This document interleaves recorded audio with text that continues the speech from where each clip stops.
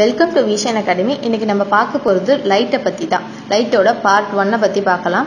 First லைட்டுனா என்னன்னு பார்த்தோம்னா light is a form of energy and it travels in the form of electromagnetic வேவ்ஸ்னு சொல்லுவாங்க. அதாவது ஒரு லைட்டுங்கிறது ஒரு ஆற்றலின் வடிவமே தவிர வேற எதுவும் கிடையாது. அது மின்காந்த அலை வடிவத்தில் தான் செல்கிறது ஓகேவா இது இதை பற்றி படிக்கிற படிப்பு என்னன்னு பார்த்தோம்னா அது ஆப்டிக்ஸ்னு சொல்லுவாங்க. அதாவது எந்த ஒரு பிரான்ச் ஆஃப் ஃபிசிக்ஸை வச்சு இந்த லைட்டை படிப்போம்னா ஆப்டிக்ஸுங்கிற ஃபிசிக்ஸை வச்சு தான் படிப்போம். அதோட அதை வந்து தமிழில் ஒளியியல் அப்படின்னு சொல்லுவாங்க. இது வந்து இந்த லைட்டோட பண்புகளையும் பயன்பாடுகளையும் பற்றி சொல்லும்.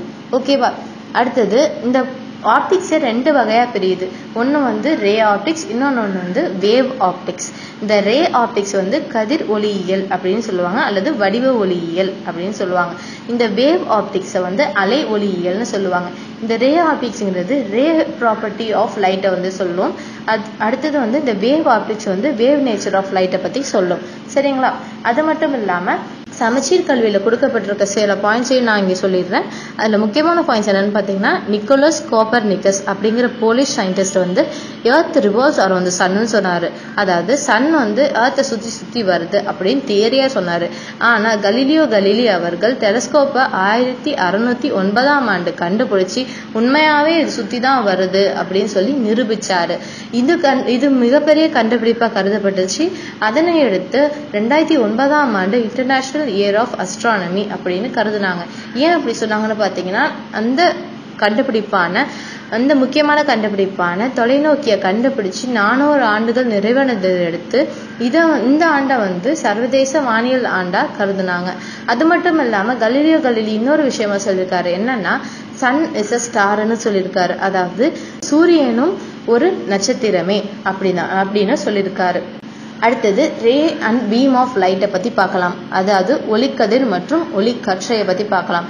அது என்ன? ரேன்னு பார்த்தோம்னா direction taken by light is called ray அதாவது ஒளி செல்லும் பாதையே ஒளிக்கதிர் எனப்படும்னு சொல்லுவாங்க. ஒரு லைட்டை பாஸ் பண்ணோன்னா அது செல்லுற பாதை தான் வந்து ரேன்னு சொல்லுவாங்க. ஒன்றுக்கு மேற்பட்ட ஒளிக்கத் ஒளிக்கதிர்கள் ஒன்றிணைந்து ஒளிக்கற்றையை உருவாக்கும். அதுதான் வந்து பீம்னு சொல்லுவாங்க. இந்த பீம் வந்து எப்படி இருக்குன்னு பார்த்தீங்கன்னா கன்வர்ஜிங்காக இருக்கும் ஆர் டைவர்ஜிங்காக இருக்கும் ஆர் பேரலாக இருக்கும். அதாவது குவிக்கற்றையாக இருக்கும் அல்லது விரிக்கற்றையாக இருக்கும் அல்லது இணைக்கற்றையாக இருக்கும். ஓகேவா அடுத்தது நம்ம ஒளி மூலங்களை பற்றி பார்க்கலாம். அதாவது லைட் சோர்சஸ் பற்றி பார்க்கலாம். லைட் சோர்சஸ் வந்து பேசிக்காக ரெண்டு வகையாக பிரியுது. இயற்கை ஒளி மூலங்கள் செயற்கை ஒளி மூலங்கள் அப்படியே ரெண்டு வகையாக பிரித்து இயற்கை ஒளி மூலங்கள் வந்து நேச்சுரல் லைட் சோர்ஸ்ன்னு சொல்லுவாங்க. அதோட எக்ஸாம்பிள் என்னன்னு பார்த்தீங்கன்னா சூரியன் தான் அதோட முக்கியமான எக்ஸாம்பிள் அது மட்டும் இல்லாமல் ஹேட்செட் ஃபிஷ்ஷுங்கிற ஒரு ஃபிஷ்ஷு க்ளோவார்ம்ஸ் அதாவது மென்மினி பூச்சிகள் கூட இது லிஸ்டில் தான் வரும். ஹேட்செட் ஃபிஷ்ஷுங்கிறது ஆழ்கடலில் இருக்கக்கூடிய ஒரு மீன் வகை தான் அது வந்து ஒளியை தானாகவே வெளியிடும். ஓகேவா இதில் செயற்கை ஒளி மூலங்கள் அது பேர்லேயே இருக்கு செயற்கை ஆர்டிஃபிஷியல் லைட் சோர்சஸ் செயற்கையாக நம்ம உருவாக்கி நம்ம பயன்பாட்டுக்கு வச்சுக்கிறது தான் இந்த செயற்கை ஒளி மூலங்கள். எக்ஸாம்பிள்ஸ் வந்து பல்பு கேண்டில் பெட்ரோமாக்ஸ் லைட் முதல் கூட இந்த லிஸ்ட்டுக்குள்ள தான் வரும். அடுத்தது வந்து இது ஃபர்ஸ்ட் வந்து லைட் சோர்சஸை வச்சு ரெண்டாக பிரிச்சுட்டாங்க. அது வந்து அடுத்தது லைட்டை வச்சு எப்படி பிரிக்கிறாங்கன்னு பார்த்தோம்னா லைட்டு எந்தெந்த எந்தெந்த ஆப்ஜெக்ட்ஸ்லாம் வந்து லைட்டை வெளியிடுதோ அதை வந்து லூமினஸ் பாடி அப்படின்னு சொல்லுவாங்க. எந்தெந்த ஆப்ஜெக்ட்லாம் லைட்டை வெளியிடாதோ அதை வந்து நான் லூமினஸ் பாடி அப்படின்னு சொல்லுவாங்க. அதாவது தாமாக ஒளிரும் தன்மை உடைய பொருட்கள் வந்து ஒளிரும் பொருட்கள் அப்படின்னு சொல்லுவாங்க. அதோட எக்ஸாம்பிள்ஸ் வந்து சன் பல்ப் பெட்ரமாக்ஸ் லைட் எல்லாமே இந்த லிஸ்ட்டுக்குள்ளே தான் வரும். அடுத்தது வந்து தாமாகவே ஒளி தராத பொருட்களை தான் வந்து ஒளிரா பொருட்கள்னு சொல்லுவாங்க. இந்த ஒளிரா பொருட்கள் வந்து தானாகவே எனர்ஜி லைட் எனர்ஜியை ப்ரொடியூஸ் பண்ணி எமிட் பண்ணாதே தவிர லைட் எனர்ஜியை ரிஃப்ளெக்ட் பண்ணும். ஓகேவா அது மட்டும் இல்லாமல் இதோட முக்கியமான ஒரு எக்ஸாம்பிள் என்னன்னு பார்த்தீங்கன்னா சந்திரன். அது என்னடா சந்திரன்? அது லைட்லாம் எமிட் பண்ணுதே இருட்டில் கூட தெரியுதே அப்படின்னு பார்த்தீங்கன்னா அது எமிட்லாம் பண்ணாது ரிஃப்ளெக்ட் தான் பண்ணும். சன்லேருந்து வர லைட்டை வந்து ரிஃப்ளெக்ட் பண்ணி தெரியிறப்போ அது க்ளோ ஆகுற மாதிரி தெரியுதே தவிர அது ஒன்றும் எனர்ஜியை ப்ரொடியூஸ் பண்ணி நம்மளுக்கு கொடுக்கறது இல்லை ஸோ அதுவும் ஒரு ஒளி ஒளிரா பொருள் தானே தவிர அது ஒளிரும் பொருள் கிடையாது. இட் இஸ் அ நான் லோ லூமினசன்ஸ் பாடி ஓகேவா சரி. லைட் எனர்ஜி வந்து சன்லேருந்து வந்து ரிஃப்ளெக்ட் ஆகி போகுது சொல்லுவோம். அப்போனா வந்து லைட் எனர்ஜி வந்து எவ்வளோ நேரத்தில் இங்கே வருது அப்படின்னு பார்த்தோம்னா சூரியன்லேருந்து பூமிக்கு வரத்துக்கு லை லைட்டுக்கு எட்டு நிமிஷம் இருபது வினாடி வரைக்கும் ஆகுது. அது எவ்வளோ ஸ்பீடில் வருதுன்னு பார்த்தோன்னா two nine nine seven nine two kilometres per செகண்டில் வருது. பே சொல்கிறதுக்கே இவ்வளோ கஷ்டமாக இருக்கேன்னு சுருக்கி three into twenty three power of eight metre per second அப்படின்னு ஈஸியாக சொல்லிடுறோம். அது மட்டும் இல்லாமல் ஒளியோட முக்கியமான பண்பு என்னன்னு பார்த்தோம்னா முக்கியமான ப்ராப்பர்ட்டி என்னன்னு பார்த்தோம்னா ஒளி நேர்கோட்டில் மட்டுமே செல்லும். அதாவது light travels in straight line டிஃபால்ட்டான ஒரு ரூல் தான் இது. ஓகே இது இந்த ப்ராப்பர்ட்டியை பற்றி சொல்கிறதா ரெக்டிலீனியர் ப்ராப்பர்ட்டி அப்படின்னு சொல்லுவாங்க. ஒளியின் நேர்கோட்டு பரவல் அப்படின்னு சொல்லுவாங்க. ஓகேவா இதை கரெக்டாக ஞாபகம் வச்சுக்கோங்க. அடுத்தது இந்த ஆப்ஜெக்ட்டுக்கும் லைட்டுக்கும் உள்ள ரிலேஷன்ஷிப்பை பற்றி மூணு வகையாக பிரிக்கிறாங்க. அது எப்படி பிரிக்கிறாங்கன்னு பார்த்தீங்கன்னா transparent object translucent object opaque object அப்படின்னு பிரிக்கிறாங்க.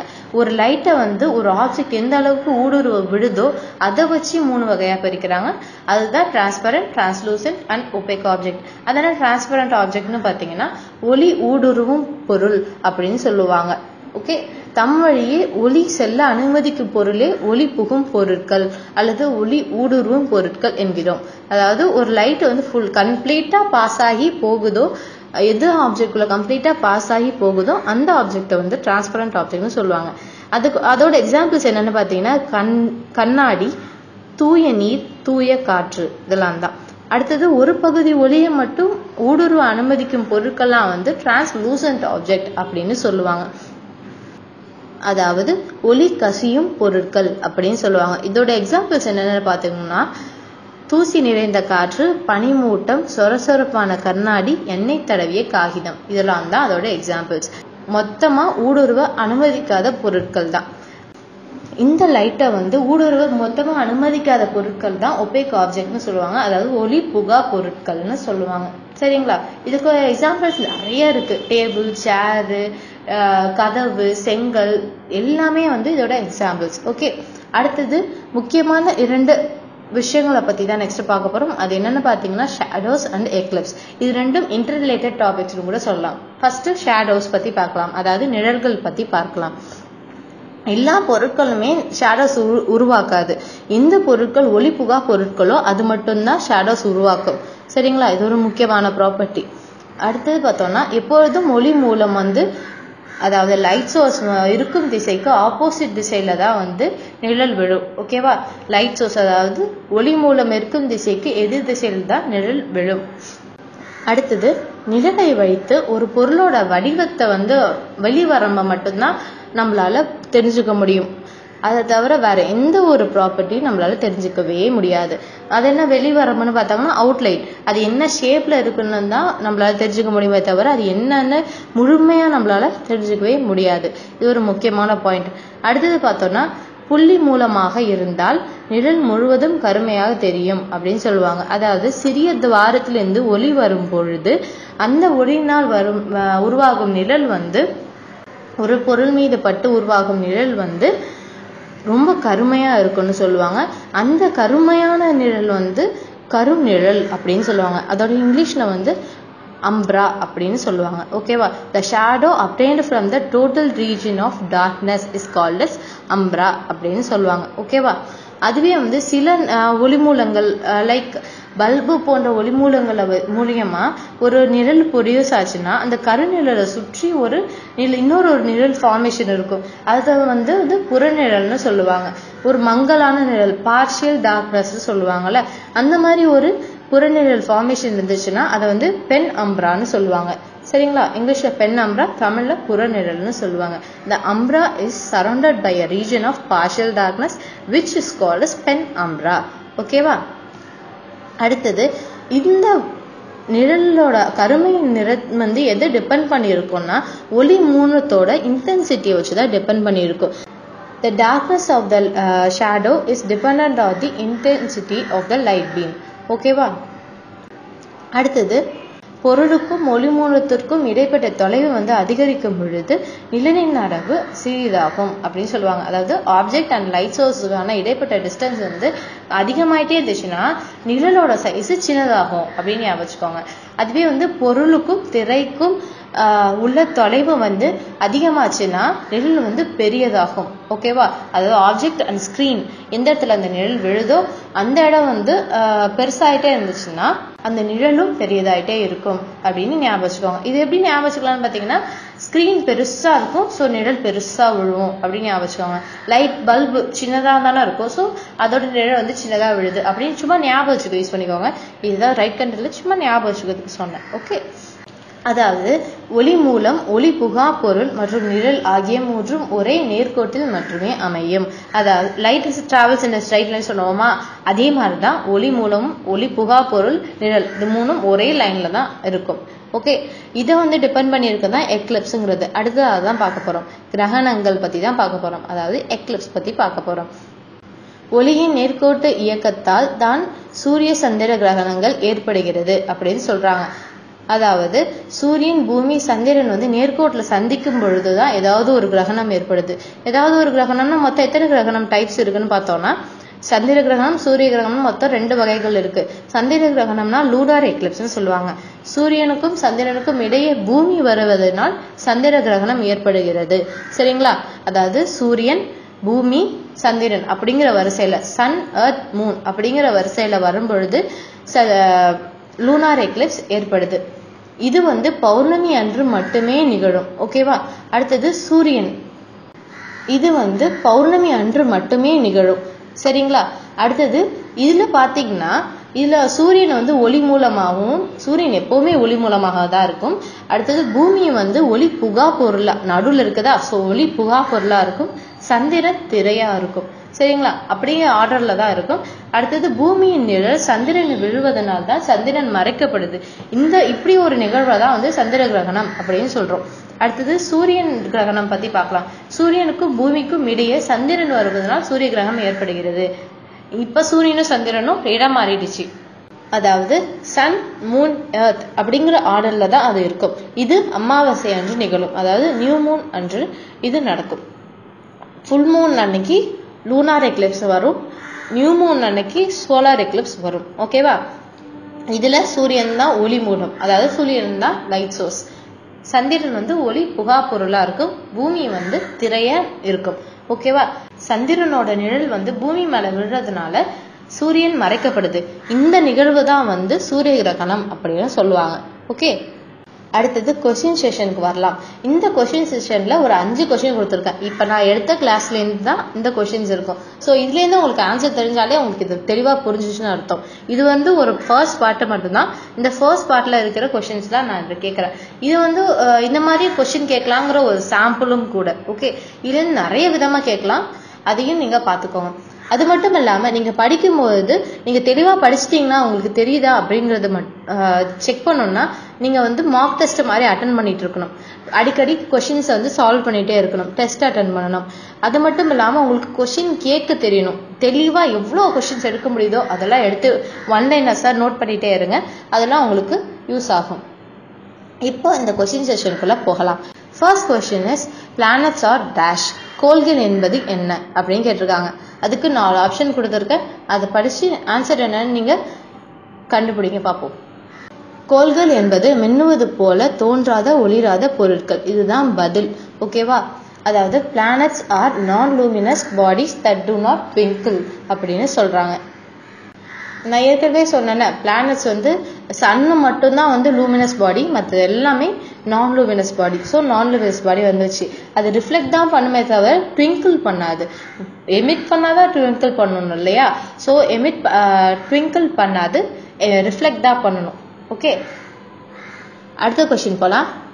Small hole in a window of a close room forms a inverted image of a outside building in opposite wall of the room This happens because of dash. ஒரு மூடிய அறையின் ஜன்னல் உள்ளே சிறிய துவாரம் அறையின் எதிர்ப்புற சூழலில் வெளிப்புற கட்டிடத்தில் தலைகீழான விருப்பத்தை உண்டாக்கும். இதனால் இதனுடைய காரணம் என்னன்னு கேட்டிருக்காங்க. அதனுடைய காரணம் என்னன்னு கண்டுபிடிங்க. இதோட ஆன்சர் வந்து ஆப்ஷன் பி தான். ஆன்சர் என்னன்னா of the rectilinear propagation of light அதாவது ஒளியின் நேர்கோட்டு பரவல் தான் இதுக்கான காரணம் அப்படின்னு சொல்லியிருக்காங்க. சரி நெக்ஸ்ட் கொஸ்டின் போனால் a lunar eclipse occurs when அதாவது சந்திர கிரகணம் எப்போது நடைபெறுகிறது அப்படின்னு கேட்டிருக்காங்க. அதுக்கான ஆப்ஷன்ஸ் தெளிவாக பாருங்க. ஆன்சர்ஸ் கண் கரெக்டாக கண்டுபிடிக்க பார்ப்போம். It happens when earth comes between the sun and the moon நம்ம பார்த்தோம்ல சன்னோட லைட்டு எர்த் மேலே பட்டு அதனுடைய நிழல் மூன் மேலே படுறப்போ தான் லூனார் எக்லிப்ஸ் ஏற்படுது. சரிங்களா? இந்த மாதிரி கொஸ்டின் கேட்கலாம். அதுவே சோலார் எக்லிப்ஸ் கேட்டால் சன்னோட லைட் வந்து மூன் மேலே பட்டு அதனுடைய மூனோட நிழல் வந்து ஏர்த் மேலே விழுந்துச்சுன்னா அது சோலார் எக்லிப்ஸ் சூரிய கிரகணம் ஆகும். ஓகே ஆப்ஷன் சி தான் வந்து கரெக்டான answer lunar eclipse occurs when the earth comes between the sun and the moon இதுதான் ஆன்சர் அதாவது ஏர்த் வந்து சன்னுக்கும் மூணுக்கும் நடுவில் வரும்போது தான் லூனார் எக்லிப்ஸ் ஏற்படும். ஆப்ஷன் சி தான் கரெக்டான ஆன்சர் சரி கொஷின் நம்பர் ஃபோருக்கு போகலாம் the solar eclipse occurs when dash சூரிய கிரகணம் நடைபெ எப்போது நடைபெறும்? சூரியனுக்கும் பூமிக்கும் நடுவே நிலவு வரும்பொழுதுதான் சூரிய கிரகணம் ஏற்படும். அதாவது when moon comes between sun and earth தான் answer okay option A is the answer okay final question planets do not twinkle because dash கோள்கள் ஏன் மின்னுவதில்லை? டேஷ் இதனுடைய ஆன்சர் என்னன்னு பார்த்தீங்கன்னா அவை நமக்கு மிக அருகில் இருப்பதால் அவற்றின் ஒளி செறிவில் உள்ள சிறிய வேறுபாடு நம் கண்களுக்கு தெரிவதில்லை. They are nearer to us and therefore minor variation in the intensity of the planets is not noticeable okay இதுதான் அதோட ஆன்சர் இது வந்து ஒரு அஞ்சு கொஸ்டின் தான் கேட்டிருக்கேன். இது வந்து முன்னாடி கேட்ட கொஸ்டின்ஸும் தான். அது மட்டும் இல்லாமல் இதை மாதிரியும் கேட்கலான்னு ஒரு எக்ஸாம்பிள்ஸ்க்கு நான் கேட்டிருக்கேன். இது மாதிரி நிறைய கொஸ்டின்ஸ் நீங்கள் சால்வ் பண்ணும்போது உங்களுக்கு தானாகவே நீங்கள் எவ்வளோ படிச்சிருக்கீங்கன்னு சொல்லி தெரிஞ்சுக்கலாம். சரிங்களா? இதோட இந்த லைட்டோட பார்ட் ஒன் முடிஞ்சிடுச்சு. இது மாதிரி உங்களுக்கு நிறைய வீடியோஸ் வேணும்னாலும் நிறைய நோட்டிஃபிகேஷன் பற்றின டீட்டெயில்ஸும் நாங்கள் கொடுத்துருக்கோம் அதே மாதிரி வீடியோஸ்லாம் வேணும்னாலும் நீங்கள் வந்து விஷன் அகாடமியை சப்ஸ்கிரைப் பண்ணுங்கள் மறக்காமல் நோட்டிஃபிகேஷன் பில்லை கிளிக் பண்ணிவிடுங்க உங்களுக்கு எந்த மாதிரி வீடியோஸ் வேணும்னு சொல்லிட்டு கமெண்ட்டில் லீவ் பண்ணுங்கள் உங்களுக்கு இந்த வீடியோ யூஸ்ஃபுல்லாக இருந்துச்சுன்னா லைக் பண்ணுங்கள் உங்கள் ஃப்ரெண்ட்ஸ்லாம் யார் யார் காம்படிட்டிவ் எக்ஸாமுக்கு ப்ரிப்பேர் பண்ணுறவங்களோ அவங்களாம் ஷேர் பண்ணுங்கள் அண்ட் ஆல் த பெஸ்ட்